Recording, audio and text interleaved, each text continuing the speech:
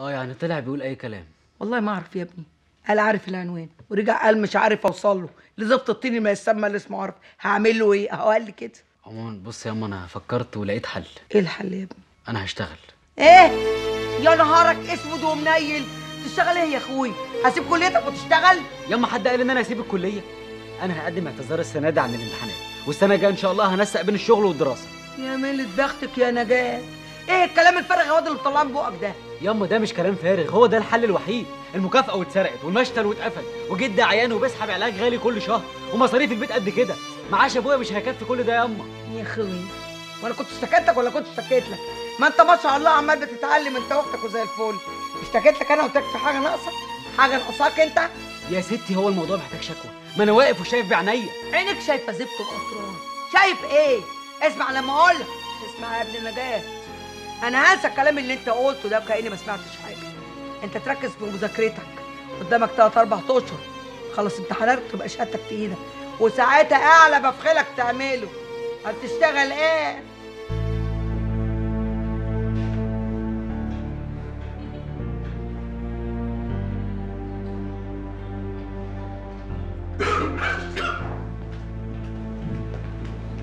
صباح الخير يا دكتور. هي الهانم لسه نايمة؟ لسه نايمه تحب حضرتك اصحيها لك واجيبها لك؟ لا أنا هخش لها بنفسي.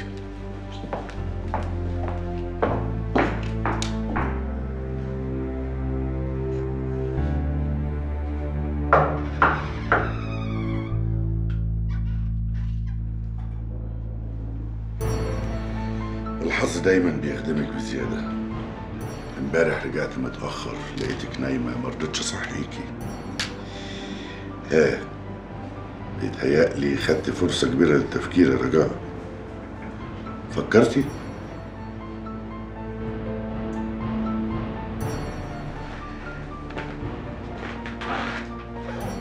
هايل هايل. طول عمري أقول عليك إنك ست ذكية وهتنتهز الفرصة.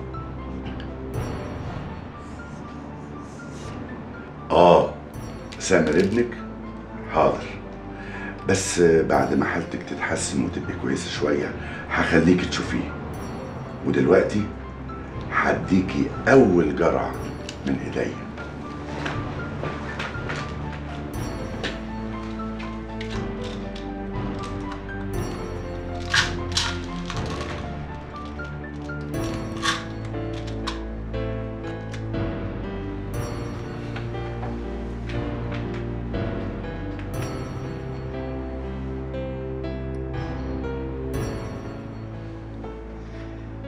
دي أول جرعة لرجوعك للحياة. الحمد لله على السلامة يا رجاء.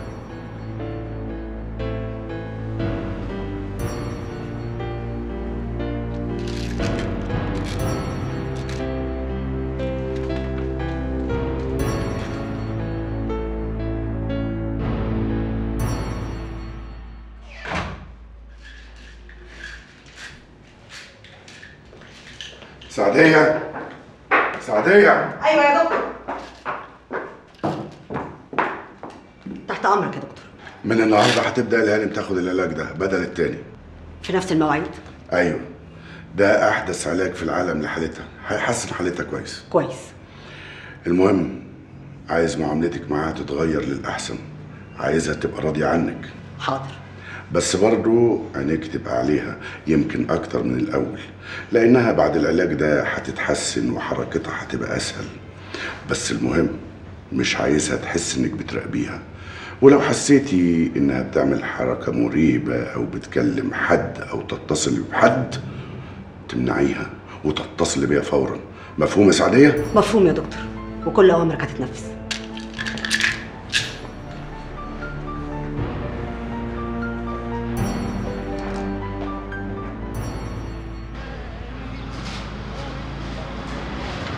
كان جاب الفلوس كاش يا معلم بدل موضوع الشيك ده؟ ما هو قال لك إن الشيك مقبول الدفع. يعني مضمون مية مية. ماشي. عموما أنا أروح البنك بقى أصرفه. أيوه. بس ما تنسوش إنكم قاعدين ضيوف عند الشاري وده مكتوب في العقد. إنكم تسلموا الشقة خالية مع البيت. والراجل من ذوقه ساب لكم كام يوم تخلوا الشقة. مش عاوزكم بقى تطولوا عليه. لا ما تقلقش بإذن الله مش هنطول. قول لي يا أستاذ هاني أنتوا ليتوا شقة تانية ولا أشوف لكم حاجة؟ آه، بعدين. بعدين يا معلم أنا هروح دلوقتي البنك عشان ألحق اصرف الشيك السلام عليكم. سلام. كده ده احواله عجيبه يلا. المهم إن المصلحة قضيت الله إيه ندى يا بنتي؟ برضه هتروح الجامعة؟ آه يا ماما. وما تقلقيش أنا مش هتأخر. مش هتأخري ده إيه؟ هو في محاضرات دلوقتي؟ الساعة كام؟ يا ماما أنا مش رايحة أحضر. أنا هنقل المحاضرات اللي فاتتني من زمايلي وهاجي على طول. خلاص يا حبيبتي روحي. ربنا معاكي. خلي بالك من السكة. ربنا يكفيك شر من خير بنتي واخوكي على فكرة يا ندى أنا وأمير حاولنا كتير نتصل بيكي عشان نطمن عليكي بس أنت للأسف ما كنتيش بتردي. معلش يا سارة أعمل إيه؟ ما انت عارفة الظروف. ده حتى أمير كان متضايق ومتنرفز جدا وحاولت أهديه وأفهمه إن الظروف الصعبة اللي أنت بتمري بيها دي بس هو بقى خدها على كرامته واعتبر إن ده إهمال. يعني إيه إهمال؟ أصل هو مش واخد على كده. عايزة تقولي إيه يا سارة؟ اللي زي أمير ده متعود كل ما يحط بنت في دماغه يوقعها فيه وهي بقى اللي تجري عليه وتهتم بيه. بس أمير عارف كويس إن أنا مش أي بنت. صدقيني أنا كمان قلت له كده. بس بقول لك إيه خلي الكلام اللي بينا ده بينا وبين بعض عشان ما يحسش ان أنا باجي انقل لك الكلام. وكتمي بقى لحسن هو جاي علينا اهو.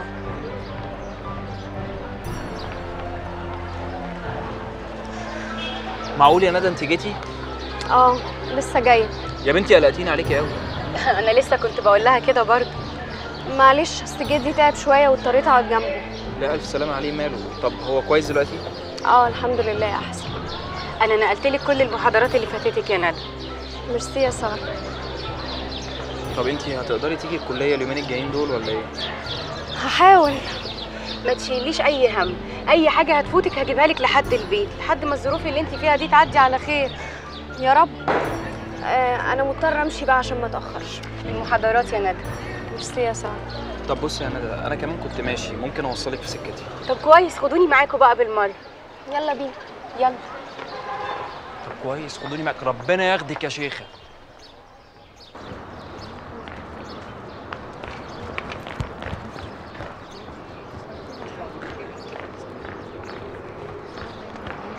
باسم.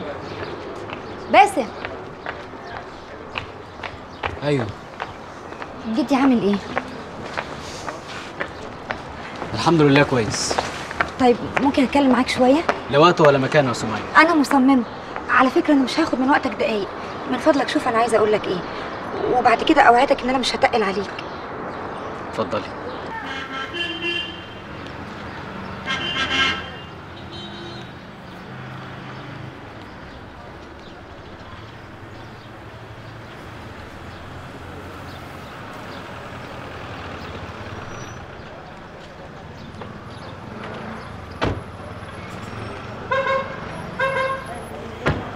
باي.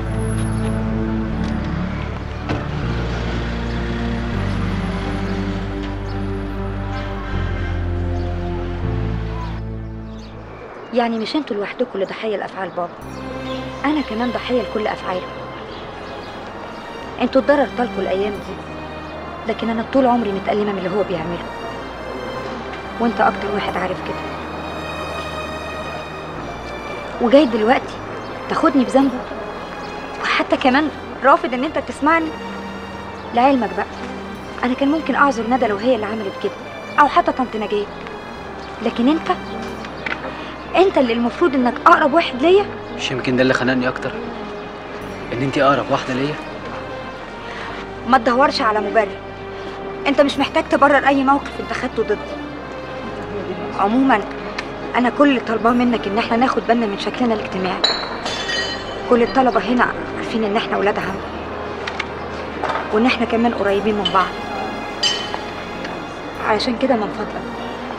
يا ريت ناخد بالنا من شكلنا قدامهم وكمان أنا من وقت للتاني هاجي علشان أطمن على جدي. ومش حابة إن أنا أشوفك متضايق. ويا ريت كمان تتعامل معايا عادي. أفتكر يعني إن دي أبسط حقوقي عليك. إيه؟ ما افتكرش يعني إن أنا اللي طلبته. صعب قوي كده. لا يا سمية مفيش حاجة صعبة. كل اللي أنت عايزاه هعمله لك. طيب. ورغم يعني إن أنا ماليش أي ذنب في اللي جرى ده كله لكن أنا أوعدك إن أنا أول ما ظروفي تتعدل هرد لكم كل الدين اللي علينا. دين إيه؟ الفلوس اللي خدها بابا. أنت طلبت مني اعاملك عادي وأنا وافقت أنا كمان ليا عندك طلب لازم توافقيني عليه. طلب إيه؟ نقفل على المواضيع دي خالص ما نتكلمش فيها تاني. يمكن مع الوقت نقدر ننسى. مع إني أشك يعني بعد كل اللي جرى ده إنه ممكن يتنسي لكن أوعدك إن أنا مش هتكلم فيه تاني. عن إذنك بقى عشان أحضر محاضراتي.